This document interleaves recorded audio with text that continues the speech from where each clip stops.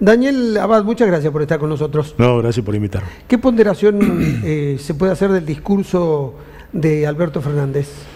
Creo que es un discurso contemporizador, un discurso de unidad que intenta eh, cerrar la grieta que se viene hablando hace muchos años, un, buen discurso, digamos. Vamos a verlo ahora, vamos a verlo caminando como se dice ahora. Prometió un acuerdo social, ¿cuál es el camino? ¿Cuáles son los beneficios de llegar a un acuerdo social? A ver, yo creo que lo que va a, buscar el gobierno es salir rápidamente de la recesión.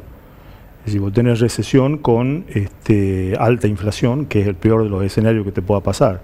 Entonces me parece que con eso lo que va a buscar es un acuerdo eh, de salarios, un acuerdo de precios, de tarifas, y eh, con un dólar anclado por el CEPO, ¿no es cierto?, impuesto, creo que va a buscar por ese lado reactivar el consumo y eh, eso va a traer aparejado un círculo virtuoso para los que creemos en este tipo de economía, ¿verdad?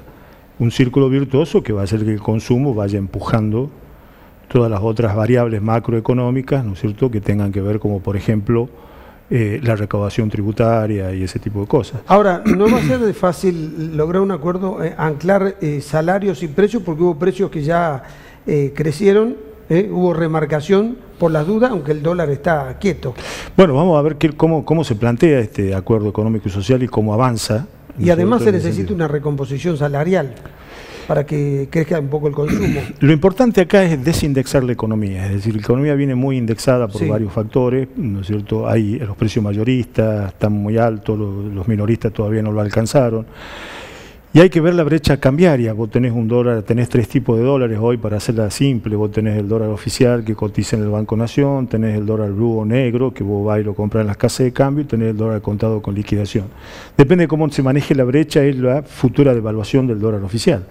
De manera que las expectativas acaban a jugar un rol muy importante ¿verdad? Y eh, te reitero, creo que apostar al consumo eh, es, la única salida que tiene Argentina para crecer ahora en el corto plazo. El consumo explica el 70% del PBI, no es un dato menor. ¿Estamos pensando que este cepo va a quedar por lo menos por un año más? Sí, porque la Argentina tiene problemas, eh, digamos, eh, acá volvemos a los viejos eh, este, conceptos que veníamos manejando, digamos, hay restricción externa.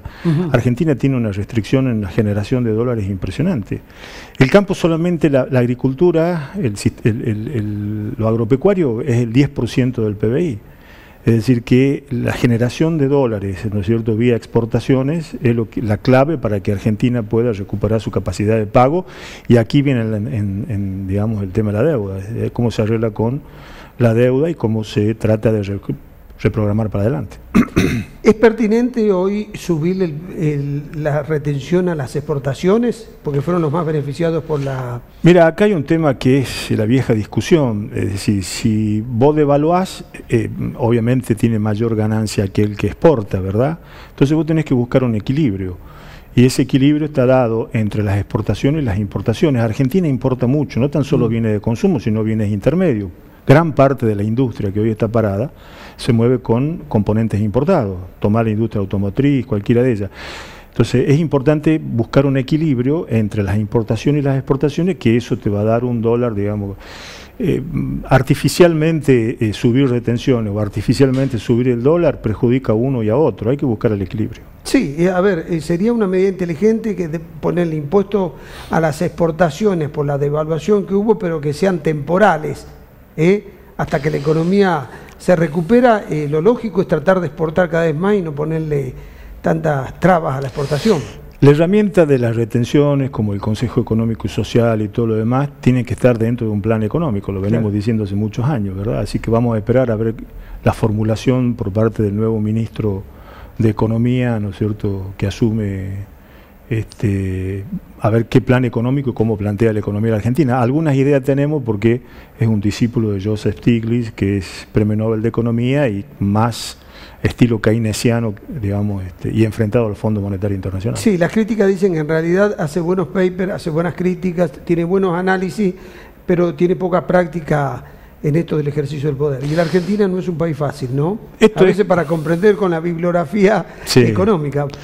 Lo que pasa es que, a ver, mm, esto es como cualquier otra profesión. Eh, entrar con el prejuicio de la juventud es un prejuicio, hay que ver, hay que verlo andar. este, mucha gente se pegó la, cara contra el vidrio cuando determinados profesionales muy jóvenes hicieron cosas este, que no, eran, eran, eran impensadas, ¿verdad? Bien. ¿Se puede pensar en un desdoblamiento cambiario?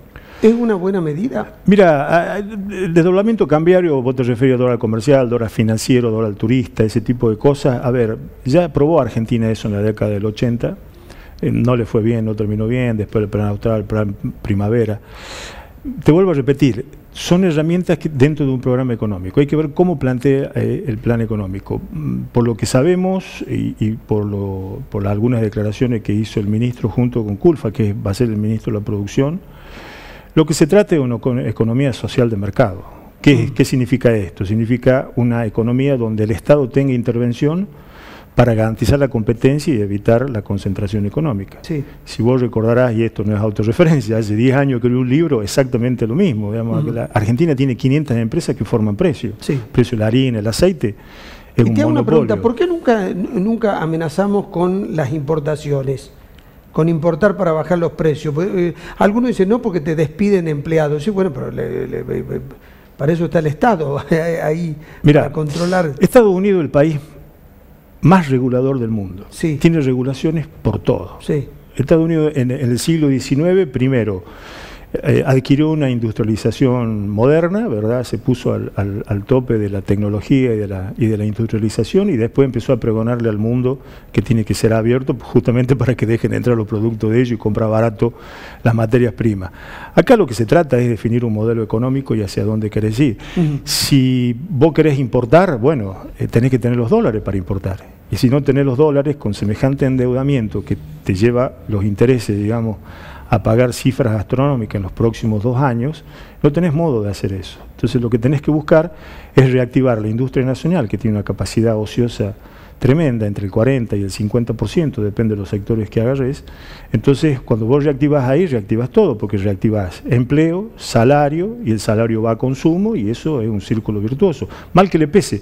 Es verdad lo que dicen algunos. La Argentina tiene un proceso de industrialización intermedio, un proceso inmaduro de industrialización. Nunca se pudo completar la sustitución de importaciones. Eso también es cierto. Lo que pasa es que no hay tiempo. La Argentina viene a los tumbos de hace 150 años, en algún momento lo conversamos con vos, antes se llamaban unitarios, hoy se llaman liberales, antes se llamaban federales, hoy se llama peronismo. Poner el, el rótulo que vos quieras. Del libre cambio pasamos al liberalismo económico eso, eh, eh, digamos, la lucha en el fondo entre cuando vos ves lo que hablan, el péndulo va de un lado para otro, es la lucha por el poder. ¿Qué modelo es el que va a primar en Argentina? Funcionó bien el modelo de sustitución de importaciones, fabricábamos, antes no se fabricaba ni alfiler, Argentina empezó a fabricar alfiler en la década del 50. A ver, hay que ver el modelo económico, te vuelvo a reiterar, creo que la economía social de mercado, que es lo que incluso pregona el Papa Francisco, ¿no? se lo ha dicho a todo el mundo. Bueno, es la que la más justa cuando funciona bien en el mundo, ¿no? Es la más justa porque tiene que ver con la redistribución del ingreso. Digamos. Este, nosotros tenemos diferencias abismales, por ejemplo, con Estados Unidos, no, tan solo desde el punto de vista ideológico, vos ves este, el puritanismo protestante tiene una concepción de, eh, eh, del individualismo y el egoísmo que hace que se premie al que gana mucha plata. Nosotros tenemos otra concepción religiosa de eso. De los que somos católicos. Entonces, eh, la solidaridad es lo que prima, por eso hoy el presidente habló incluso de las cooperativas, ¿no? O sea, le va a dar un fuerte impulso a las cooperativas como de la economía social del mercado para generar fuentes de trabajo. Habló también de crédito no bancario a, baja tasa. Eh, ¿A qué se refirió? Y eso me parece que se va a referir a créditos a la gente vía ANSES y vía planes sociales, algún tipo de crédito para aliviar los enormes endeudamientos que hay. Bien. Pues fíjate que hay tarjetas de crédito que no están bancarizadas, que son tarjetas de crédito empresas independientes. Bueno, hay gente que está muy endeudada y lo que se, me parece que lo que se va a tratar de buscar es de aliviarle con tasas incluso negativas. ¿no? Para frenar el espiral inflacionario, eh, ¿alcanza en un primer momento con el acuerdo social? Sí, la espiral inflacionaria tiene dos patas en este sentido. Me parece que el cepo es una y el congelamiento de tarifas es otro. Bien. Sí, ¿Por qué? Porque hemos venido sufriendo lo que se llama este, la inflación de costos, ¿verdad? Se te cae el consumo, pero la inflación siguió alta. Es otra de las, de las incongruencias de la ausencia de un plan económico. Entonces, si vos frenás la inflación de costos vía tarifas, ¿verdad? Y vos podés anclar un tiempo la inflación hasta ver los resultados del plan económico en funcionamiento. Ahora, esto de congelar tarifas también por un tiempo, porque después se atrasan y... Sí, todo dentro de un plan económico, lo mismo que el tipo de cambio. Si vos atrasás mucho tiempo el dólar, después se te vuelve un boomerang porque la brecha con los otros dólares te hace inevitable que vos calcules que la próxima devaluación va a ser justamente esa diferencia. ¿Te dejó tranquilo cuando habló de Brasil, que es un socio estratégico, porque en realidad lo es, sobre todo para la industria automotriz? Sí, porque se puso por encima de las diferencias personales. Bien. Me parece que eso está bien. Nosotros eh, tenemos mucha dependencia de Brasil, es nuestro principal comprador de automóviles y ese tipo, ese tipo de productos, de manera que ponerse por encima de las diferencias personales me parece lo más inteligente que puede haber dicho. Bien, ¿qué es más conveniente? ¿Que busquemos acuerdos con Estados Unidos, eh, con ese acuerdo en México, Estados Unidos, Canadá, con Europa o con China? Yo soy pragmático con todos en su justa medida y en lo que nos convenga. Bien. Es decir, si vos tenés, podés cerrar un acuerdo con Estados Unidos para venderle, qué sé yo, trigo o lo que sea, hacelo. Si te conviene cerrar con la Comunidad Económica Europea, a pesar del Brexit, todo esto que está pasando con, Inglaterra, con Gran, Gran Bretaña, eh, hacelo. Si te conviene hacerlo con China, hacelo. Me parece que el mundo hoy se maneja por el pragmatismo económico y en algunos casos vos tenés bloques asociándose y tenés acuerdos de libre comercio que funcionan perfectamente bien. Creo que acá lo que tiene que primar es el, pragmatismo eh, para ver qué es lo que más nos conviene. Bien, lo que vos decís es, eh, si, el, si el razonamiento me dice que tengo que hacer un acuerdo bilateral, voy al acuerdo bilateral. Si es con un con un bloque, lo hago con un bloque y voy buscando, ¿no? Protejo el sector estratégico para mi país y veo con qué puedo hacer un acuerdo sí, para me, me, parece que no hay que guiarse por las ideologías. Este, China es un país comunista con estructura política comunista y todo lo demás, pero es una economía de mercado, muy, muy, muy controlada, muy regulada, ¿no es cierto? Pero si tenés que hacer acuerdo con ellos, deja la ideología de lado, hacerlo. Digamos, es lo que más convenga a Argentina. ¿El sindicalismo está preparado para ir a la productividad que necesita la economía argentina para ser más competitiva? Esperemos que sí. Han dado muestras de acompañar, de querer acompañar, digamos. Este, lo que pasa es que en el fondo hay está la puja distributiva también. En la puja distributiva entran los salarios, ¿no es cierto? Entran el tema de la tarifa, el tipo de cambio. Me parece que la competitividad tiene que estar dada porque lo que cada sector aporte, digamos, al, conjunto, en función de eso sea retribuido en función de ese aporte, y no sacar a costa del otro cuando el otro lo tiene o no hay. Sí. Bueno, en una economía de recesión no podés pedir este, a tu empleador sacarle salarios este, altos porque no tiene cómo pagarlo, por más que quisiera. Bien, en algún momento nos enamoramos de poner el impuesto a la renta financiera y no nos fue bien porque además los capitales se van. Ahora se habla de ponerle un impuesto a los bancos. ¿Es bueno eso? Acá te, contesto lo mismo, digamos. El, tema tributario tiene que ver con el plan económico. El plan económico tiene que tener etapas, ¿verdad? Una etapa de corto plazo, mediano y largo plazo. El mediano plazo lo ideal sería crecer y vincular ese crecimiento al desarrollo que es lo que hablaba hoy, el tema de la, niñez, de la niñez, digamos, los sectores más desprotegidos.